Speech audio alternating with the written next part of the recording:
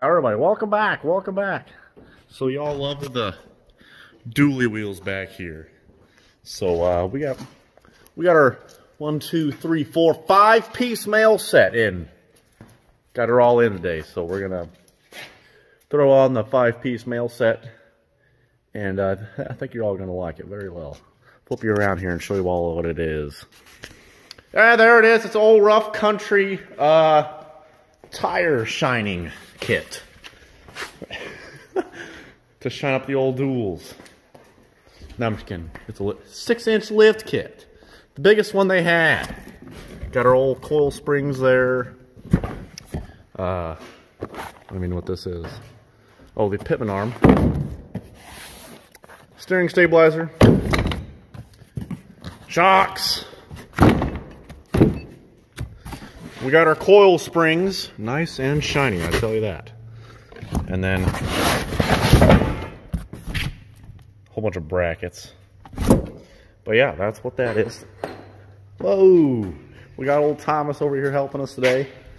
But uh, I'll probably show a little bit of what we're doing, probably not a whole bunch because it's not an install video. We're just throwing it on because install videos are boring. So we're not going to do that. But yeah, we'll show you a little bit like what stuff we had problems with and any special tools you need. It's pretty straightforward. It's real easy. These old trucks are easy to put stuff on. So uh, we'll see you throughout the install. All right, so it's day two. What? What? What? Jack Wagon. What do you want? So I was up till four in the morning working on this thing. Uh, had lots of difficulties. Yeah. Got the one side on here. Uh, ran into some difficulties over here on the other side. Yeah. Oh yeah. Oh yeah. Let me show you. Well, I can't show you on the other camera, on the back camera, because I broke it. Then it's all blurry, so. That's what it looks like right there. Yeah, that's what it looks like. The six inch lift, this side's on. And then we walk over here. And uh, yeah, this side is not done yet. Yeah, so we broke this radius arm here. So I gotta pull this bolt out. I got a new radius arm at O'Reilly's right now. And uh, what else happened? That was difficulty. Yeah, don't try to cut this thing off. That thing does not come off. This thing bolts to it. We didn't know that, and we grinded that thing off. Tried grinding it off for like three hours. Yeah, that thing does not come off. So we got the brackets all bounded up. We got all the brackets. I need to get the pitman arm off still. Uh, got to pull this bolt out, get a new uh, radius arm, and then we should be good. So uh, I'll get back with you uh, when uh, we get this side somewhat on. Alrighty, so we got our springs here, and look at that. That's like a six inch difference. Like, holy cow, I wonder why it's like a six inch difference. I mean, it's just a six inch lift, but yeah, that's like six inches bigger. Heck yeah, let's put this boy on.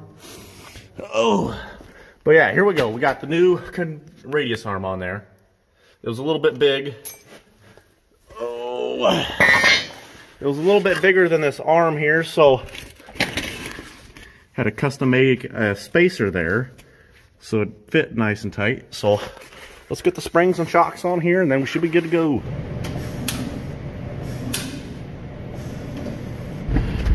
Alrighty, so we're stuck in the shop here. He's got a little tight of a fit, so he's gonna maneuver it with his forklift here.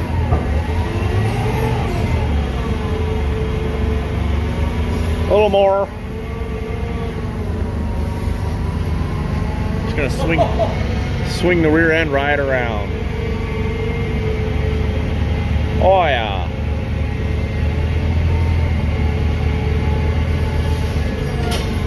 There she is. Let's try her.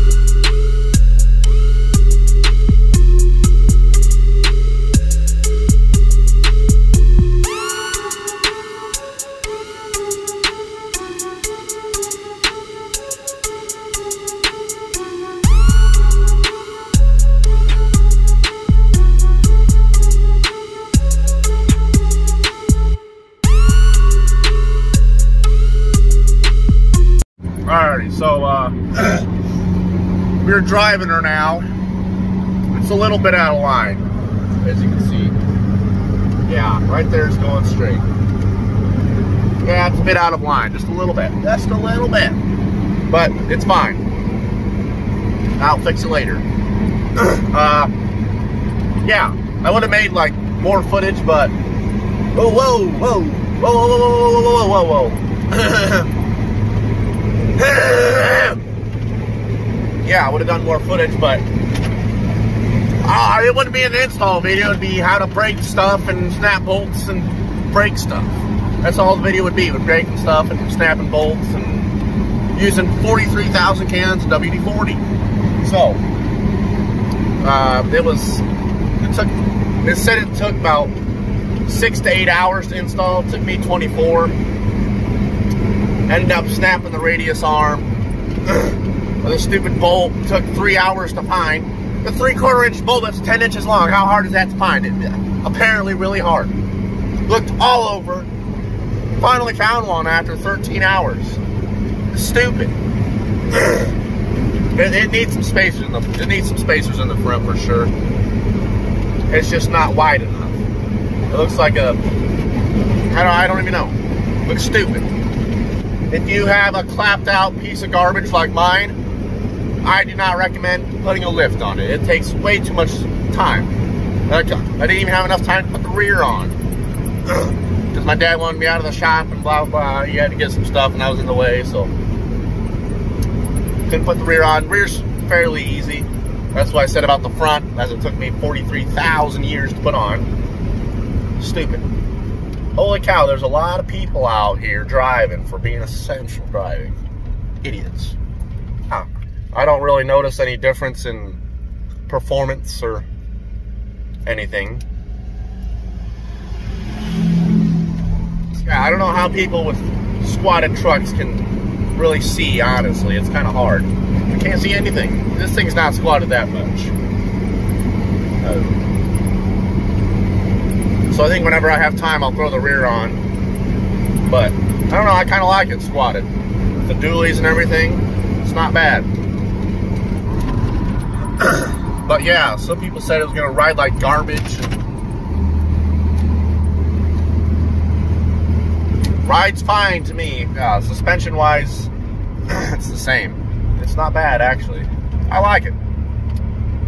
Except for I have one concern. Just one. Just one on the pitman arm, it would not come off. Whatever you did, it would not come off.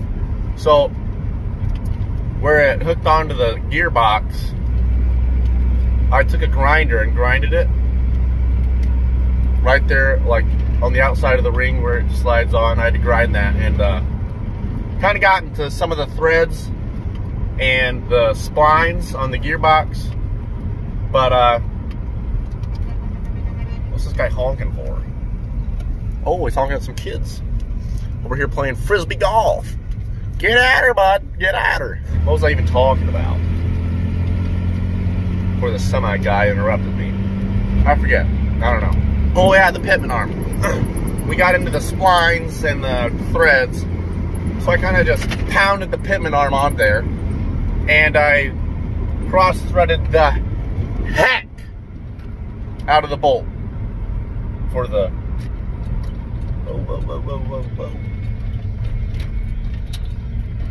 Bolt for the steering arm there. I just cross-threaded the crap out of it. I put tons of force onto it. I had a breaker bar on it with the like extended handle off the jack. Slid that on there. I know y'all have done that at least 30 times in your life. But yeah, I torqued that thing down to spec. I mean, it's not loose or anything, so must be fine. so hopefully the whole steering rack just doesn't fall off while I'm driving. Thanks for joining today. Uh, be prepared what's next for this old gal. So, see y'all in the next one.